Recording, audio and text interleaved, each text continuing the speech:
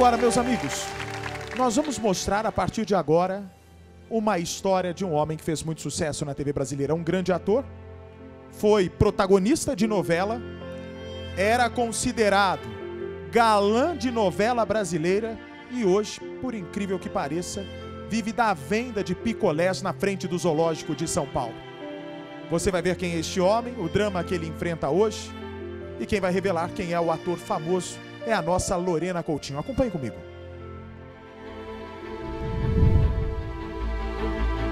Ele já estampou capas de revistas e jornais.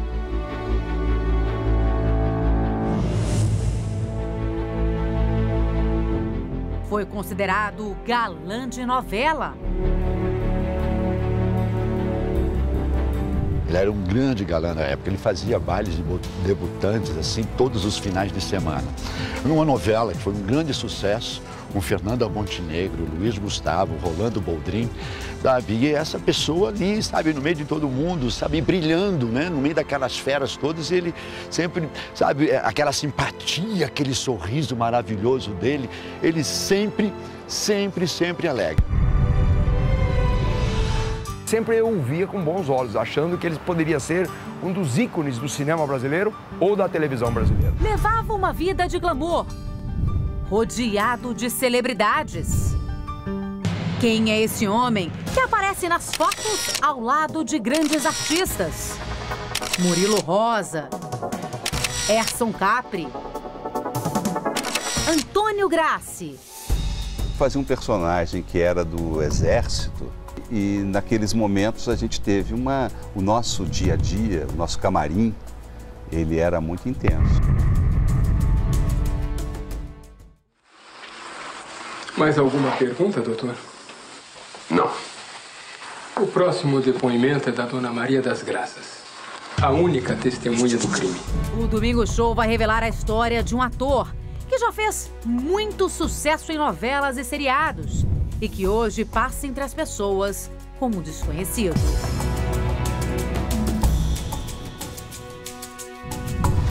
Às margens do zoológico, esse homem, de mochila nas costas, boné, cabelos brancos, com aparência sofrida, é ele.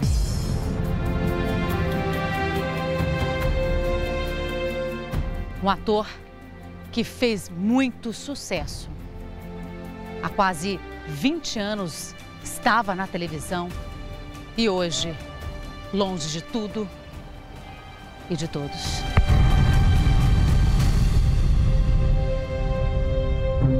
Que ator é esse que já fez papéis importantes na televisão durante quase 30 anos e perdeu tudo por conta do vício? Lá, cerveja que seja, álcool. Não, fala de destrói, destrói, destrói. Você perde família. Eu... Para sobreviver, hoje ele vende picolés na entrada do zoológico de São Paulo. O que o ator tem para falar sobre o passado? Eu quero deixar bem claro, não foi a televisão que me largou, eu que chutei o balde. Será que você aí de casa vai reconhecê-lo? Ele está com aparência bem diferente. Com exclusividade, nós vamos mostrar detalhes da vida desse ator. E mais, você vai se emocionar com as surpresas que nós preparamos para ele. O reencontro com a filha. Não fala que você ama para sua filha, mas não para a câmera, mas para ela. Pode vir, Bárbara. E a gente trouxe um presente para você. E a visita inusitada de um grande amigo que ele não via há quase 10 anos. Tô arrepiado. Os dois que encenaram juntos tantas vezes. Do estrelato ao anonimato. Hoje ele quer voltar. Agora eu quero mo mostrar para mim mesmo e para as pessoas vai ser um exemplo que eu posso, que você pode, que qualquer um pode. Basta querer. Basta querer. Dos palcos para as ruas, o Domingo Show vai contar hoje a história de um grande ator. Um homem que já foi considerado galã de novela nas décadas de 70, 80 e 90. E de repente, perdeu tudo. Por quê? O vício. Vício do álcool.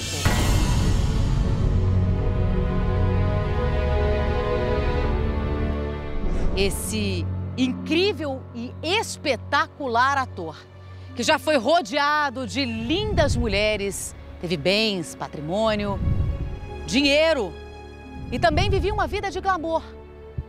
Hoje, ele vende picolés em frente ao zoológico aqui em São Paulo. Em 1978, esse ator apareceu pela primeira vez na televisão em uma novela que marcou. Novela chamada Cara a Cara. E a partir daí, ele mostrou o seu talento e com o seu charme, ele conquistava cabelos longos, lisos, uma marca registrada na bochecha. Em 1979, Meu Pé de Laranja Lima. alegria é noite de Natal. Mais uma participação desse ator. Em 80, Imigrantes. E daí ele foi seguindo. Ninho da Serpente, em 1971. Isso sem falar nas aparições em seriados e filmes. A grande presença na TV brasileira em Grande Sertão Veredas.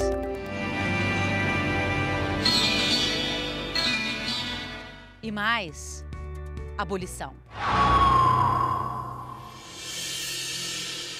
Quem é esse homem que largou tudo por causa do vício e hoje sobrevive com menos de mil reais por mês. É o que nós vamos descobrir aqui no Domingo Show. O que esse ator não sabe é que ainda nessa reportagem ele vai reencontrar a filha que não vê há dois anos e também um grande amigo. Os dois que encenaram juntos tantas vezes Raimundo de Souza está na televisão desde 1978, quando fez a sua primeira novela ao lado do ator que nós ainda vamos mostrar. Em quase 40 anos de carreira, fez muitos trabalhos. Na Record, brilhou em Chamas da Vida. Parabéns, Pedro. Parabéns, Wallace. Milagres de Jesus. Ou prefere a morte? Vitória. Precisava de ver. Raimundo não vê o amigo há quase 10 anos, mas soube da situação precária em que ele vive e se comoveu. Difícil acreditar que esse ator charmoso se transformaria num ambulante. E ele era um galã de novela mesmo, assim, 78, 80, com a marca registrada na bochecha, cabelos longos. Ele era um galã da época? É verdade. Ele era um grande galã da época. Ele fazia bailes de debutantes, assim, todos os finais de semana. Uma novela que foi um grande sucesso, com Fernanda Montenegro, Luiz Gustavo, Rolando Boldrin, sabe? E essa pessoa ali, sabe, no meio de todo mundo, sabe, brilhando, né? No meio daquelas feras todas, ele sempre, sabe, é, aquela simpatia, aquele sorriso maravilhoso dele, ele sempre, sempre, sempre alegre. Então, o ator que nós estamos falando, sabe, é uma pessoa de boa alma, né? Grande talento. E daí, acho que não deu muita sorte. Raimundo conta que as mudanças de comportamento do amigo aconteceram de repente. Era uma pessoa muito espontânea, muito alegre, é, é, ajudar as pessoas, colega, podia ligar, olha, vem cá, estou precisando de você, ele ia a qualquer hora, ele estava sempre pronto para ajudar. Ele sempre foi uma pessoa assim muito, é, muito prestativa, né? Muito amigo, muito colega, muito parceiro. Eu não entendo como pode chegar, sabe, uma situação dessa. a situação dele, o estado dele, tinha dormido todo sujo, dente sujo, sem dente, né? Aquele galã, aquele, aquele homem bonito, né? Que as mulheres enlouqueciam. Graças a Deus ele superou. Tá Aí, agora é, é- é ele se preparar novamente para entrar no mercado, porque condições ele tem, talento para isso ele tem. Apesar do sumiço das telas, as lembranças do amigo continuam vivas. Ele está sobrevivendo, isso que é bacana. Ele, com tudo isso, Lorena, ele não perde o humor. Aquele sorriso dele é muito marcante. Né? A, a- a postura dele é marcante. É-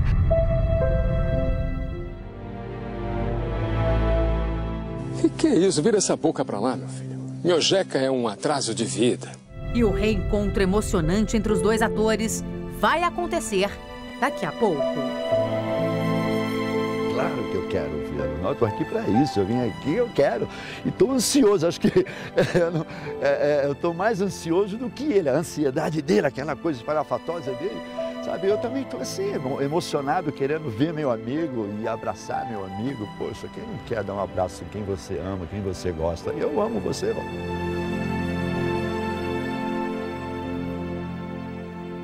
Eu não quero nem me emocionar porque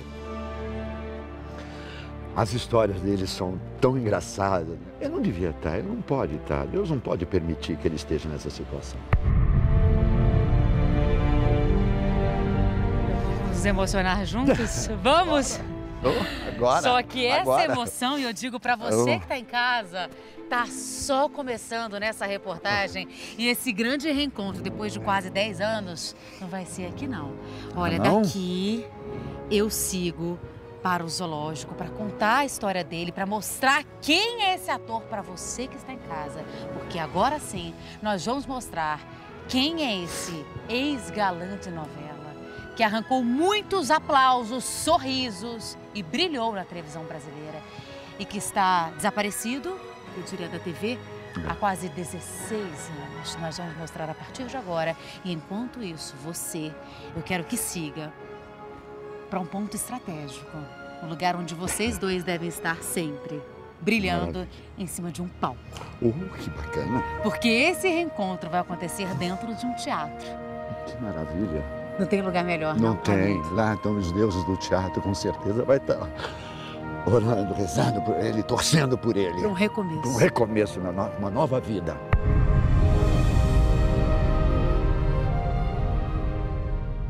Zoológico de São Paulo, zona sul da cidade. Este é o ambiente de trabalho do ator que já arrancou muitos aplausos e esteve sob os holofotes durante três décadas.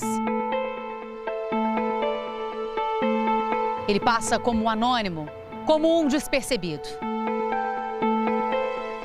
Longe dos palcos, das plateias, ali está ele, em meio a carros.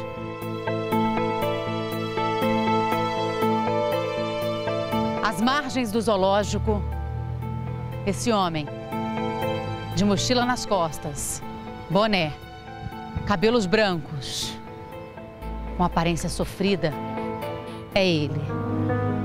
Um ator que fez muito sucesso. Há quase 20 anos estava na televisão e hoje, longe de tudo e de todos.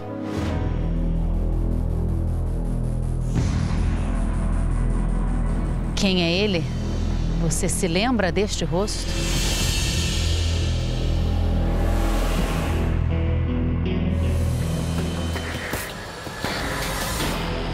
Valdir Fernandes.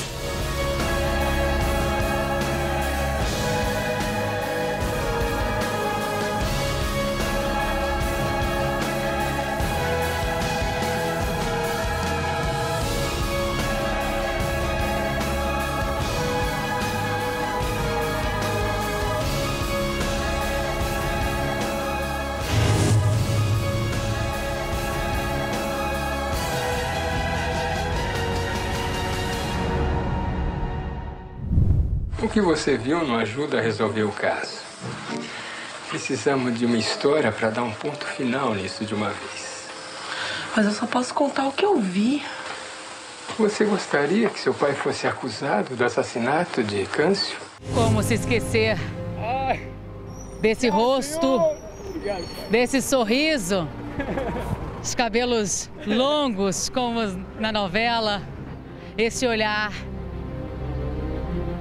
esse semblante inesquecível, hoje sofrido das ruas, hoje um picolezeiro, mas que já foi um grande ator.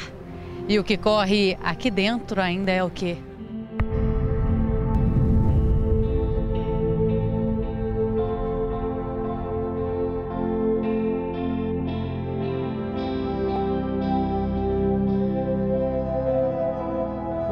Você tá pro Brasil todo no domingo show de Geraldo Luiz.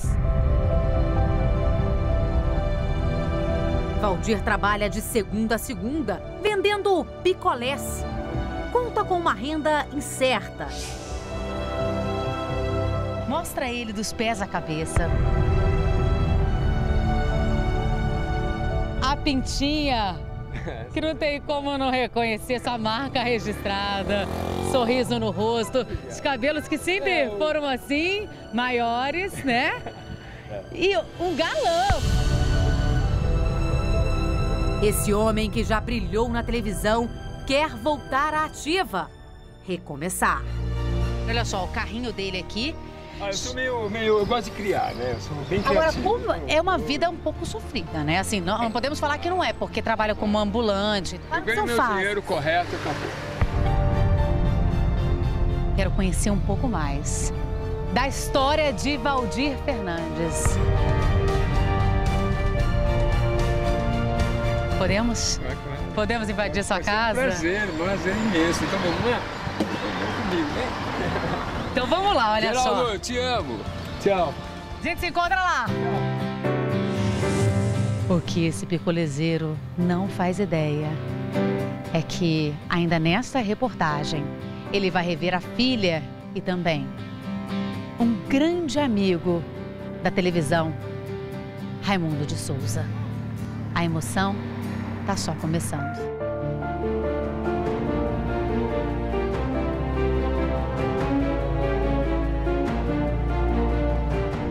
Demora aqui, olha só. Esse portão aqui meio vermelho. Essa casa é da minha mãe, né? Eu fui graças a ela que eu tô aí, porque na verdade eu perdi tudo e tal. Mas graças a ela eu tenho a casa, tenho onde morar e comer, né? Então, Valdir perdeu todo o patrimônio que construiu com salário de ator. Vamos lá, então? Conhecer um pouco a história, né? Ó.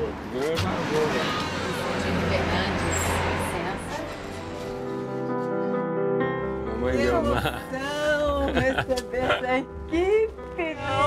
felicidade. A senhora olha para esse filhão assim, Bate da passa o quê? Um filme na cabeça? Passa, passa. Muita emoção, né? Muita alegria.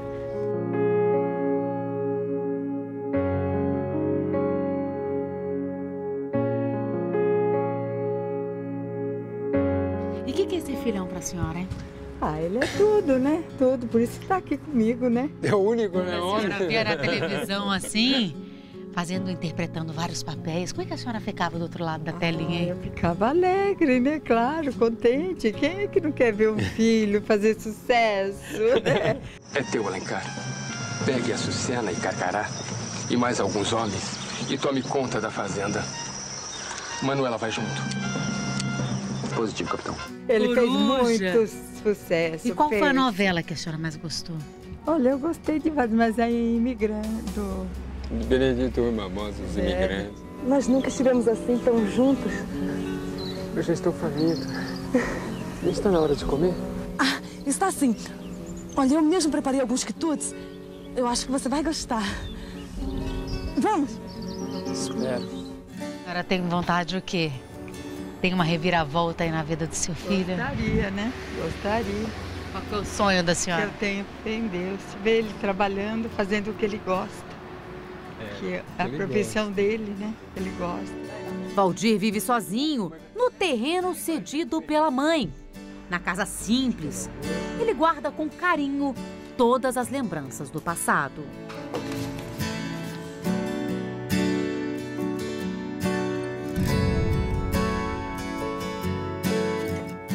Muitas fotos, olha só aqui. Muitas lembranças, marcas do passado.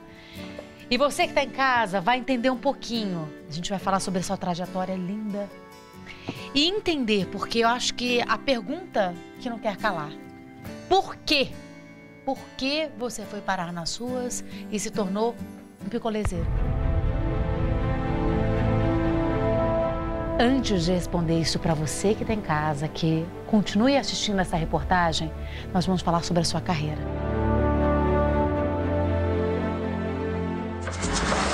Agora sim. Assim que eu gosto.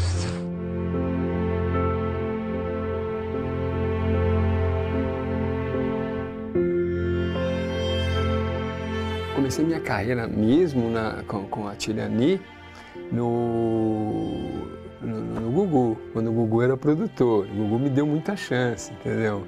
E, e aí eu comecei a aparecer aí. Eu, na verdade, comecei como figurante antes de fazer teatro. Aí logo em seguida veio a, a, ao teatro, fiquei no teatro, aí em seguida a primeira mesmo novela, Cara a Cara.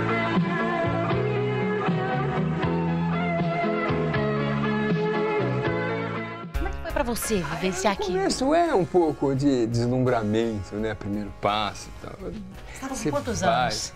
Mais ou menos. Ah, então, 29, 28. Depois de 1978, você ainda teve muitos trabalhos na televisão. Você consegue recordar quase Ah, eu todos? tenho- eu- olha, eu, eu sou um... Eu trabalhei com melhores diretores, né? Então, grandes atores do meu lado, que é esse Luiz Gustavo. Mas Elias Gleises, oh, nossa, aprendi muito com muita gente, né? Fausto Rocha me ensinou muita coisa, televisão. Rubens de Falco, que- quem, o mundo conhece Rubens de Falco. Paulo Betti. Nunca mais faça isso. Nunca mais. A Fernanda Montenegro, Conta Cenei. Um moço alto, moreno, bonito, talentoso, fino, respeitador. A Fernanda Montenegro, nós íamos almoçar, ela falava, convida o Valdir, Davi, eu era o galã da novela. Convida o Valdir. Eu faço uma viagem nesse quarto aqui. Entre tantos colegas de trabalho, Valdir lembrou de Raimundo de Souza. O que ele não imaginava é que reencontraria o amigo depois de quase 10 anos. Você tem vontade de rever? Ah, sim.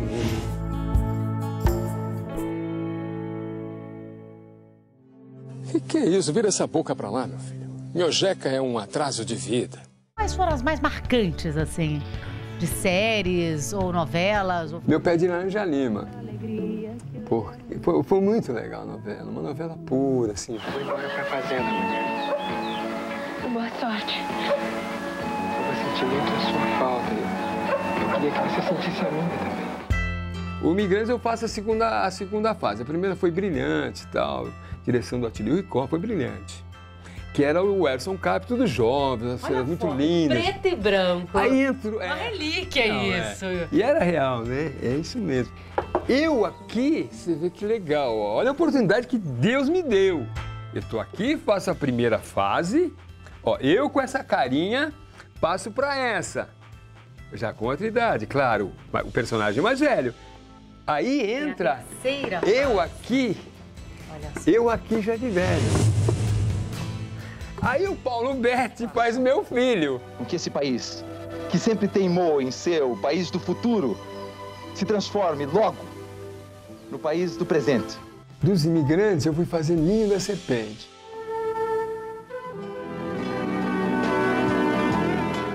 Como era tudo isso pra você, assim? Tinha muito glamour? Porque as pessoas associam muito com dinheiro, fama, sucesso. Eu acho que você tocou numa coisa muito interessante, que toda a minha história termina aí. O dinheiro? É, não. Ganhava mais dinheiro assim quando ia apresentar um baile de debutantes. Ou então chamava para fazer algum trabalho. Você tá entendendo? Assim, por fora. Se pudesse voltar atrás, você faria diferente? Ah, muita coisa. Essa figura marcante, cabelos longos, eu diria um galã mesmo. E agora sim, você quem está em casa vai entender por que esse sorriso, olha só, foi substituído por um semblante muitas vezes triste. Por quê? Essa é a pergunta. Valdir Fernandes deixou os palcos para ir para as ruas e hoje sobrevive vendendo picolés. E eu pergunto para você, por quê? Bom, mas o fato, o fato é que este homem também não vê a filha já há algum tempo. E a filha reclama, diz que ele abandonou. Daqui a pouco nós vamos saber. Será que a filha do Valdir vai perdoá-lo depois de tanto tempo? Vocês acham que ele vai perdoar? Ela vai perdoar ele ou não? Não sei, vamos ver na reportagem já já também. E como será o reencontro dele com o Raimundo? Com o Raimundo, que foi colega de elenco dele na novela. Vai ser um momento muito, muito especial na tarde desse domingo. Mas, o momento que ele ficar cara a cara com a filha depois de tanto tempo, é hora da verdade. A hora de dizer sim, eu te perdoo ou não. Eu prefiro a distância. Mas ainda tem outras atrações no Domingo Show de hoje. Veja! Já já, a incrível história do homem que sobreviveu a uma queda de mais de 30 metros de altura.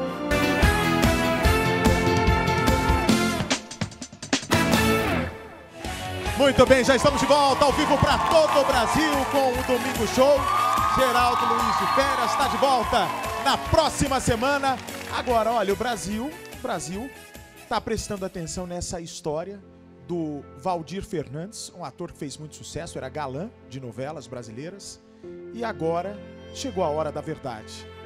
A filha que ele já não vê há algum tempo, que diz ter sido abandonada pelo pai, vai reencontrar Valdir pela primeira vez depois de um certo tempo.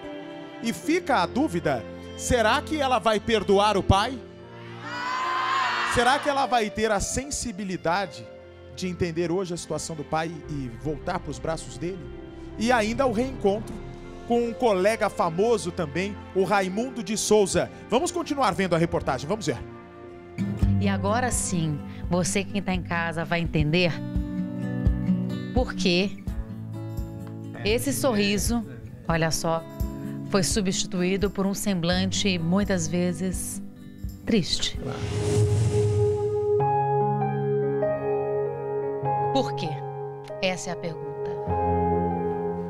Valdir Fernandes deixou os palcos para ir para as ruas e hoje sobrevive vendendo picolés. E eu pergunto para você, por quê?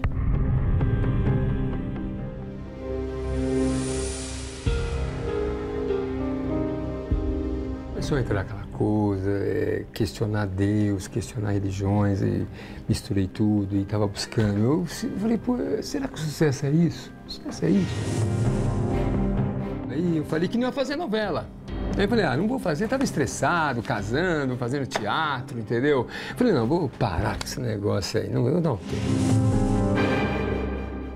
Por que você, então, deixou tudo? Teve um problema mesmo interno? Você começou a ter uma... sobre sucesso, é, fama? Olhar, fama, vida espiritual, um vazio grande. Porque você tem, não sei. Seria a gente... depressão? Eu, eu não sei, acho que é. Eu falei, pô, ser famoso, ter dinheiro, é isso aí, aquele vazio, né? Que não tinha resposta. Valdir estava abalado emocionalmente e tomou uma atitude extrema que colocou em xeque a própria carreira de ator. Você acordou careca, Cortei, cortou o cabelo É. e não podia. Lógico, né? Ia fazer o papel principal, meu. Chego E lá. uma revolta. Tomado pelo estresse e longe da televisão, Valdir se entregou para a bebida. Você acha que o vício ajudou na destruição da sua carreira? Sim. Pinga, pinga, é lá, cerveja, que seja, álcool, não, fala de... Destrói, destrói, destrói. Você perde família, eu...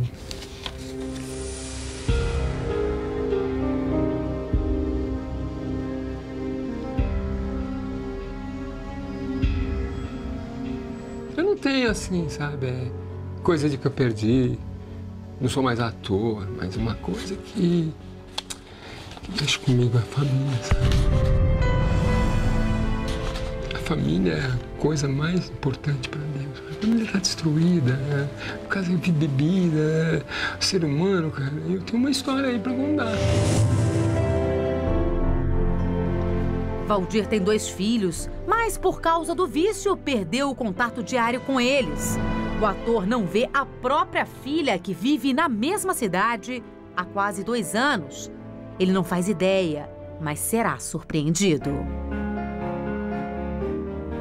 A bebida tira tudo de qualquer pessoa, né? Tira.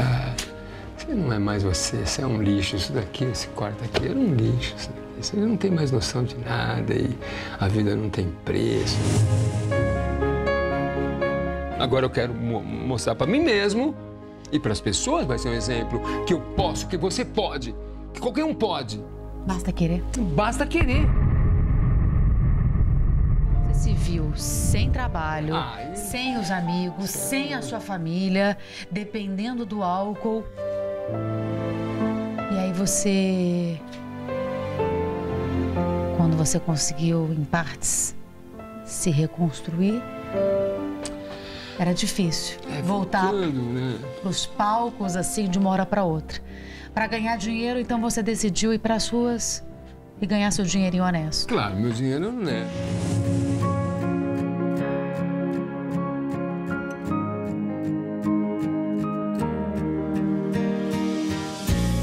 Queria resgatar a minha filha, sabe? É muito importante ela. Eu não fui pai.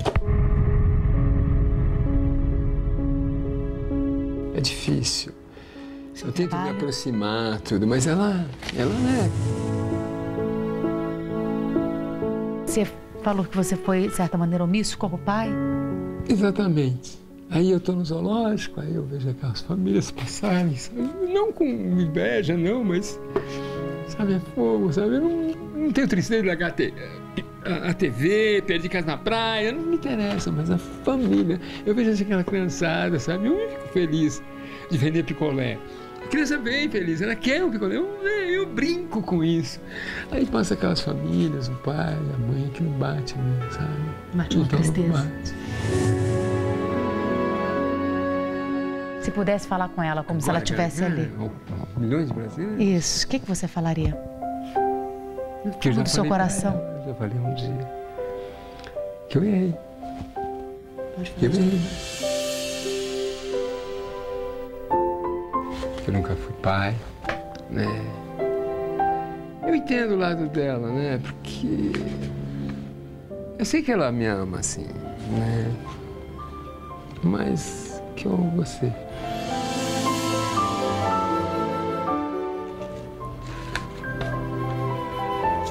É. É tudo que eu mais quero, sabe? Minha Encontrar? vida, encontrá-la, abraçar.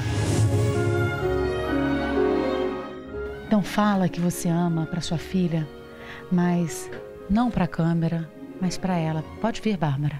que A gente trouxe um presente para você.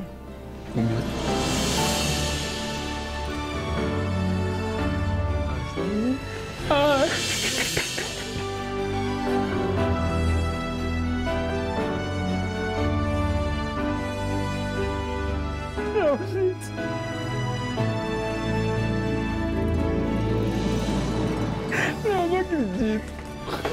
Sério.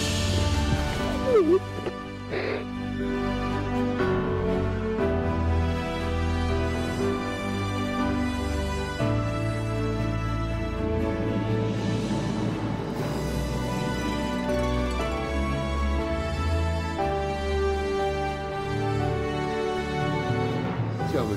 Também te amo, pai. Esquece passado? Esquece passado. Beleza.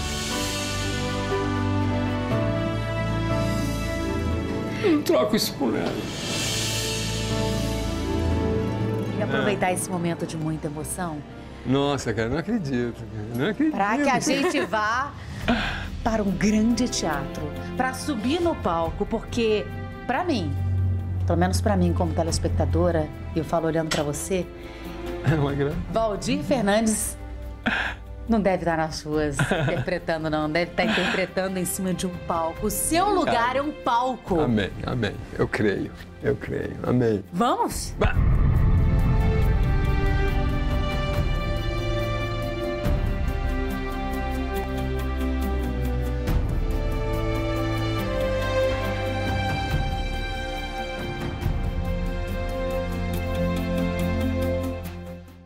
Como combinado, aqui estamos nós, Valdir Fernandes.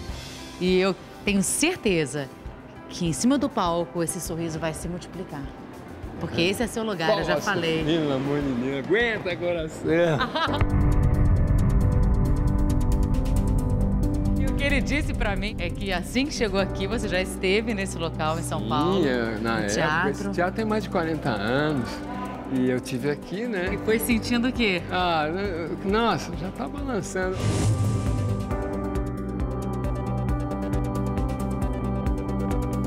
Quando você vai chegando nesse espaço do teatro, parece que vai o Eu- quê?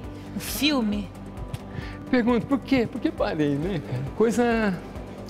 Sei lá, Deus quis assim, não sei. Eu também não queria mais, né? Mas. Você quer não hoje? é meu, é claro. Eu vou voltar, é claro, com tudo.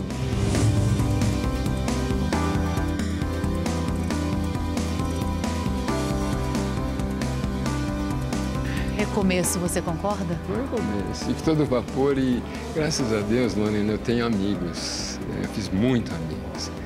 E, e todo mundo porque parou, né? Então eu tenho certeza que eles vão me ajudar.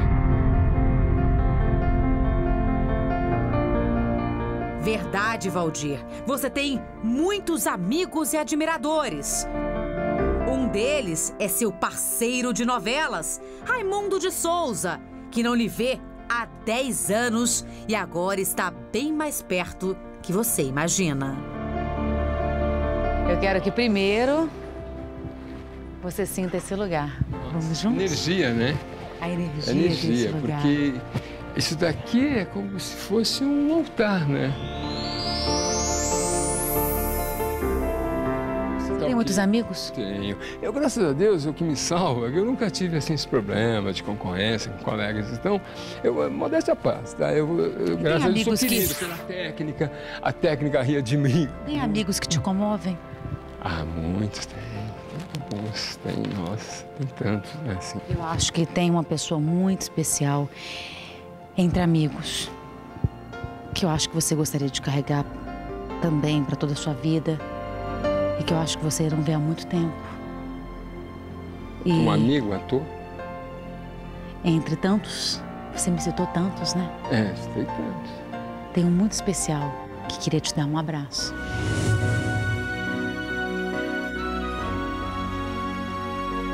São quase 10 anos sem ver. E o que ele disse é que ele só quer uma coisa: te dar um abraço. Um abraço. Então vem. Aí. Raimundo de Souza! Ai, meu Deus do céu.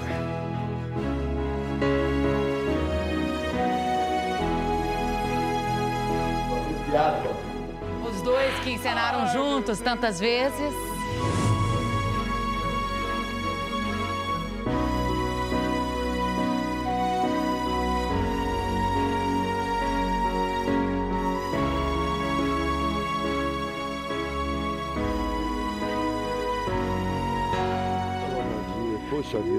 Tem mais história que o Hitchcock, viu, né? é mais gostoso Você eu ter você mim. nos meus braços. Falei que ia te botar aqui no, no meu ombro, te fazer carinho, porque eu te amo, cara. Você é meu irmão. Você é o cara que a gente teve uma vida muito gostosa quando nós éramos crianças, né? Somos crianças até hoje. Tá? E esse seu humor, esse seu carinho, esse teu amor. Pô, E a gente se vê aqui na, no palco. Esse é o Valdir Fernandes. Olha, o que eu quero pra ele, cara, o que eu quero é que ele seja feliz, né? Que ele tenha a família dele e que Deus ajude que ele tenha um trabalho. Esse é uma pessoa muito querida, dormiu muito no meu colo, na minha casa. É assim que a gente vai terminar essa reportagem com os dois no palco. Raimundo de Souza ao lado de Valdir Fernandes. Eles que já encenaram juntos e hoje se reencontram depois de 10 anos. De volta aos palcos, não poderia ser diferente.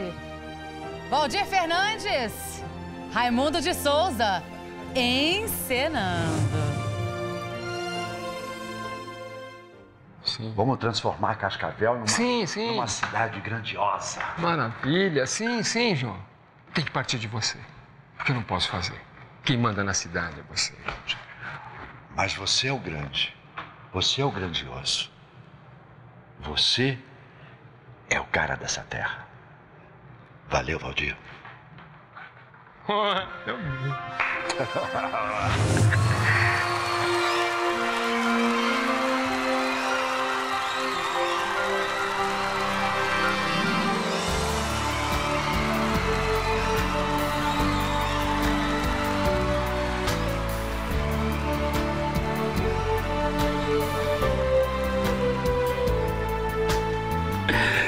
Obrigado por tudo. Obrigado a você, velho, por viver, ser meu amigo, meu irmão.